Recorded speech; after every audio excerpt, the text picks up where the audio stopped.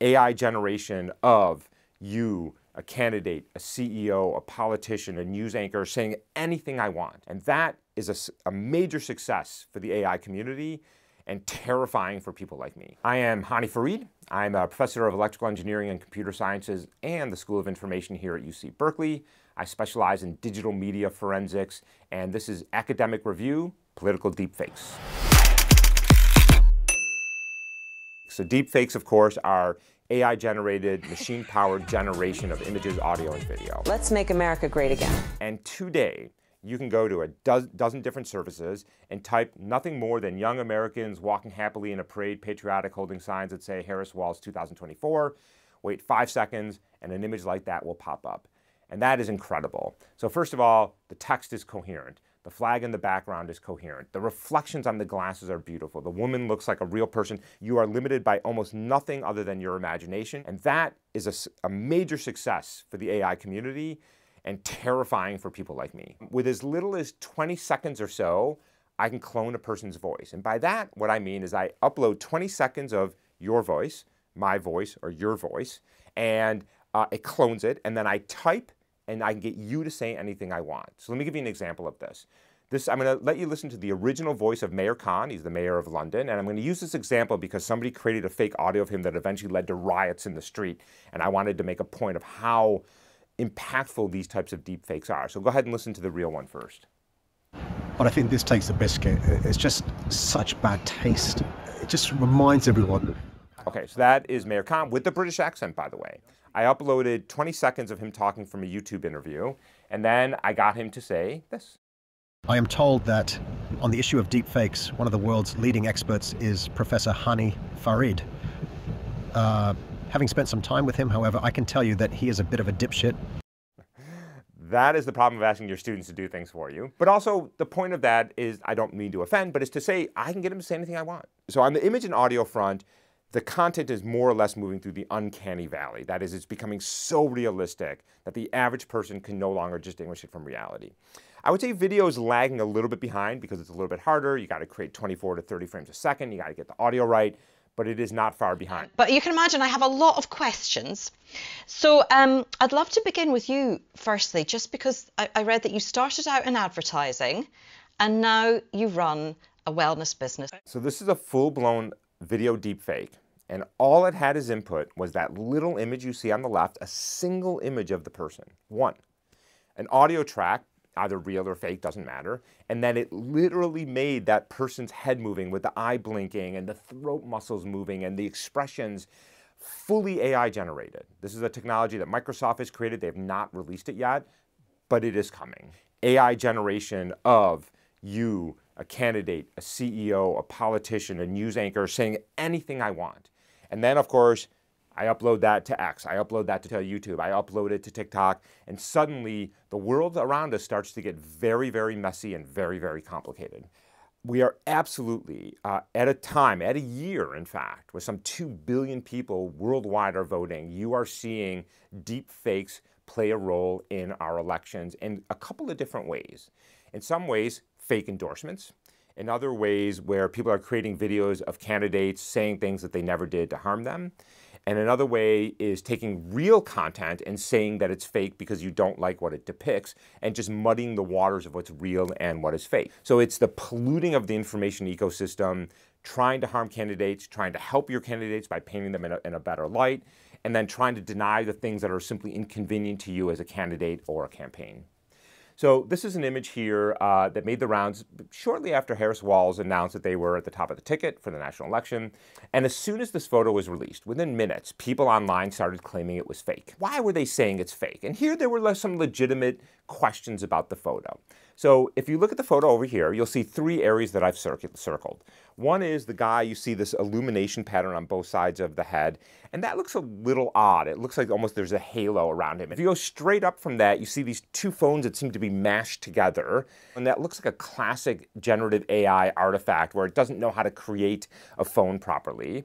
And then on the left there, it looks like you see the halo of a woman, and it looks like the guy's arm is going through her head because that halo goes right through his arm. And that that looks really strange. What you should know about images is that when they start circulating online, they tend to get degraded in terms of quality and resolution. It's very hard to reason about images when you have these low quality images. So what I'm showing you here, which I hope you can see, is a higher resolution version of it. And here you see two really interesting things. First of all, the phones have very clear delineation between them. You also see something that I just love, which is the guy in the back has a white and black bracelet that when I made the image lower resolution just blurred into, as it turns out, the perfect contour of the head. The lights are the lights. And what you can see there is that the people that are in shadow are being illuminated by the lights in the hangar, which just so happen to be on both sides of them. When you illuminate from both sides, you get this haloing effect. And so at this point, I thought, you know, I don't think there's a lot going on here. But then, former President Trump himself said, this photo is fake. And he said it on social media. And he pointed, because somebody pointed him to it, I'm sure, that you cannot see the reflection of the crowd in the engine of Air Force Two. And when I looked at that, I thought, well, first of all, that's a pretty low resolution image. I'm not sure I should see the reflection, but you know, you don't want to leave a, st a, stone unturned. So what I did is I went into a 3D rendering engine, and what you're seeing here is a mirrored cylinder. That's the engine. You're seeing this big crowd in red, and then you're seeing a camera at the end. And now the question you want to ask yourself is if I render that scene through the camera viewpoint, what do I see? And on the top, you see, well, what you sort of see in the image. Big sea of crowd, and then just the engine there. And in the lower right, you see a, a zoomed in version of the engine where that tiny little sliver of red is the reflection of the crowd in the engine. When you have a convex surface that bulges out like this, things that are above and below get amplified in the reflection, and things that are directly in the middle get compressed. So there is nothing in this photo to suggest that it's fake. Why fight this? Right? So we're talking about deep fakes in the area of politics. And you could say, well, it's pettiness. I don't want her crowds to be larger than my crowds. That may be one reason, and I'm sure that's part of it. But I think there's something more nefarious at play. Come November, if you want to deny the outcome of an election, which former President Trump has said he will do, well, a good way to start is to claim that they have to fake the number of people at their rallies, and therefore there's no way she got that many of votes in November. This is another example. It shows two images of former President Trump. This was purportedly taken when he was doing the interview with Elon Musk on X. The reason I'm showing this is for two reasons. One is I was contacted by a large news outlet. They had run this through some analyses that had suggested that maybe it was AI generated. I analyzed it with a number of techniques that I won't get into here. I found no evidence of manipulation.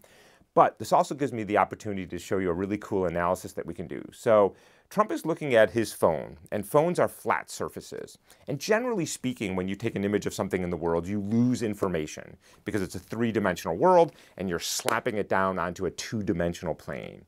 But a two-dimensional surface, the surface of a phone, when it's mirrored into a two-dimensional plane, there's no loss of information. So here what you're seeing is what's called a perspective cor correction or viewpoint correction, where I ask, what would the scene look like the phone if I was directly on top of it. And there's a beautiful, simple mathematical transformation called the homography that allows me to modify that image, geometrically correct, to take the viewpoint of directly above. And when you do that, you can almost read the text and you can see the image of Trump. You can see the image of Musk. You can see the alignment that that looks exactly like a Twitter screen. And the reason why this is useful in a forensic analysis is that generative AI has a really hard time with these details. And when you find evidence like this that suggests that there, it's a coherent image, you're in pretty good shape to say that the image is real. Example number three, uh, this was a montage that uh, Trump uh, retweeted. Purportedly shows a bunch of young women wearing shirts that say Swifties for Trump. This is a really interesting example because immediately you know that the bottom left image is not real. That's obviously meant to be a, an artistic rendering. On the top left there, there's a montage of six very small images that are a little bit too small to really forensic analyze. So when you get images that small, you should be very careful because when, when they're that few pixels, it's hard to say anything definitive. And this one, you know, when you look at it, first of all, all the women look the same. That's usually a good sign that something has gone a little uh, funny. But if you also look in the background, the flags make no sense at all. That image almost looks too perfect, too saturated, uh, too like everything just put together just right. This looks like the kind of photo you would expect some guy in the background dangling his legs on, on, the, on the wall. So in this image, uh, there's a couple things that we can do. Um, so one is along the background here, you see the building. Here's what you know again about planar surfaces um, that have parallel lines on them, is that if I take an image of that, those lines have to converge to what's called a vanishing point. And we've known about this since Renaissance painting. So here what I've done is I've annotated five lines along parallel lines on flat surfaces in the background, and you can see that they perfectly converge to a single vanishing point. Does that prove it's real? No. But here's what I can tell you. More often than not, when you have an AI generated image, those vanishing geometries are not satisfied. It doesn't know about geometry because fundamentally it's a statistical inference engine. And so when you find this consistency along with other artifacts, which I won't get into, we have pretty good reason to believe that this is a real photo. And so what's particularly clever about this montage, and I started to see this recently, is you know, it's really easy to just slap down a bunch of fake images. But a smarter thing to do is to create a hybrid, few real, few fake, and now it starts to muddy the waters a little bit and it makes it hard to figure out what's going on. This is a weird example, and normally I wouldn't want to share with you an image of Hitler, but I like this analysis because it shows you something really cool. So this, of course, is the now iconic photo of Trump after the assassination attempt. And somebody started circulating this other image that seemed to be somehow that miraculously Trump and two Secret Service agents were reconstructing some historical photo showing um, Hitler. And so when we analyzed this photo, we found a really interesting pattern which is that all images have some amount of what we call noise, imperfections in them. And we have some simple techniques that can pull those imperfections or noise patterns out, and that's what you're seeing here. And you don't have to know a lot to know that something is wrong with this image. There are two very distinct noise patterns here. One in the background, showing Hitler in the background, and then one of the flag, and then the two other characters in this photo. And you can see what somebody did is they created a composite. And by the way, this isn't AI. This is Photoshop. And so this is a simple photo composite where somebody composited stuff. They added a bunch of noise, imperfections to try to blend it in together, but they did a bad job of it. The little bit of online searching, you can find the original photos. On a daily basis, I analyze images, audio, and video. Nine months ago, I was pretty good at it. I could just look at stuff and I knew almost immediately. I'd still run all the tools and all the analysis and all the things that I showed you. I would say today that's gotten a lot harder. Um, on a daily basis, there's at least one piece of content where I'm not sure just looking at it. And I'm pretty good at what I do. And I do this for a living and I've been doing it for 25 years. I'm sorry for the world you've inherited because if it's this hard for me, it's way, way harder for you. So here's what I'm going to tell you is you got to slow down because there's two parts of the problem of disinformation. There's the creators and there's the spreaders. And for those of you that are retweeting and resharing and liking, you're part of the problem. We all have a responsibility to create a healthier online information ecosystem. And that means stop getting your information from social media. But if you must, get more careful about what you are sharing and retweeting and commenting on because you are being lied to, you are being manipulated, um, you are being made a fool, and that should make you angry. And we can do better, and I think we have to do better, not just for us as individuals, but for our very democracy.